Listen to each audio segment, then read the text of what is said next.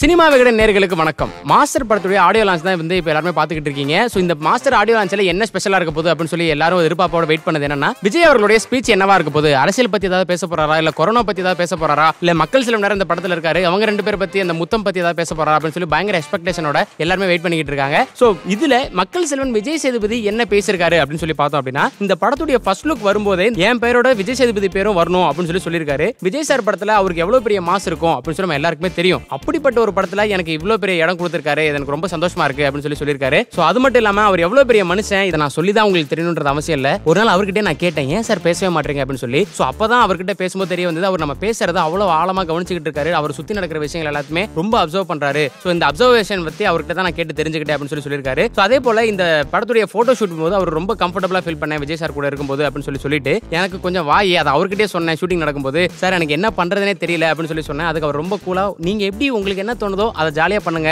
அது உங்களுடைய comfort zone அப்படின்னு சொல்லி சொல்லியிருந்தாரு. ஸோ அது மட்டும் இல்லாமல் ஒவ்வொரு ஷாட்டுக்கும் ரொம்பவே மெனக்கிட்டாரு நம்மளால அவர் என்ன பண்ணுறாரு அப்படின்றத கெஸ் பண்ணவே முடியாது. சத்தியமா சொல்றேன் நீங்க ரொம்ப செம்மையா பண்றீங்க சார் அப்படின்னு சொல்லி சொல்லியிருக்காரு. ஸோ அது மட்டும் இல்லாமல் இந்த படத்தில் ஒர்க் பண்ண எக்ஸ்பீரியன்ஸ் எல்லாமே எனக்கு ரொம்ப ரொம்ப சூப்பரான ஒரு எக்ஸ்பீரியன்ஸ் ரொம்ப அற்புதமாக அழகான தருணங்கள் உங்களோட இருந்தது. உங்களுக்கு கொடுத்த முத்தத்திலே அது தெரிஞ்சிருக்கும் அப்படின்னு சொல்லி சொன்னோன்னே பயங்கரமான கிளாப்ஸ் ரொம்ப அழகா இருக்கீங்க சார் ரொம்ப கியூட்டா இருக்கீங்க ஸ்டைலா இருக்கீங்கன்னு சொல்லி விஜய் பத்தி பேசிட்டே இருந்தவர். அவருக்கு ஒரு க்ளோஸ் வைங்க. அவர் செம்மையா இருப்பார் வெக்கப்படுவார் பாருங்க அப்படின்னு சொல்லி சொல்லிட்டு முத முத ஒரு ஆம்பளை வெக்கப்பட்டு இன்னொரு ஆம்பளை வெக்கப்படுறேன் அப்படின்னு சொல்லி சிரிச்சோன்னே பயங்கரமான அப்ளாஸ் ஃபேமஸ் அவர் ரொம்ப ரொம்ப நல்ல மனுஷன். ஒருத்தரால ரொம்ப நாள் நடிக்கவே முடியாது. எப்பயும் ஒரு நாள் வந்து மாட்டிப்பாங்க. அவர் கூட இருபத்தஞ்சு நாள் அந்த படத்தில் ஒர்க் பண்ணியிருக்கேன். ரொம்ப ரொம்ப நல்ல மனுஷன். ரொம்ப ரொம்ப நல்லா இருக்கணும் நல்லா இருப்பாரு அப்படின்னு சொல்லி விஜய் சேபதி பேசி முடிச்சோடனே பயங்கரமான அப்ளாஸ்.